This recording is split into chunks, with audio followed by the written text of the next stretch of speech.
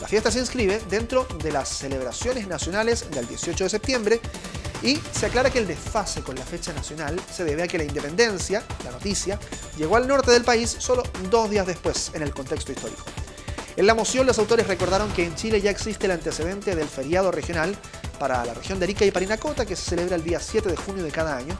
y destacaron además que la fiesta de la Pampilla, pronta a cumplir 204 años de antigüedad, ha ido creciendo en magnitud, constituyéndose en un gran festejo social y cultural. Esto es un reconocimiento a la fiesta popular y tradicional más grande de Chile, que es la fiesta de la Pampilla de Coquimbo, es un reconocimiento a la comuna de Coquimbo. Vamos a seguir junto con el alcalde apoyando la declaración de esta fiesta como patrimonio inmaterial de la humanidad y confiamos que con la declaración de este feriado cada vez van a ser más los turistas que lleguen a Coquimbo.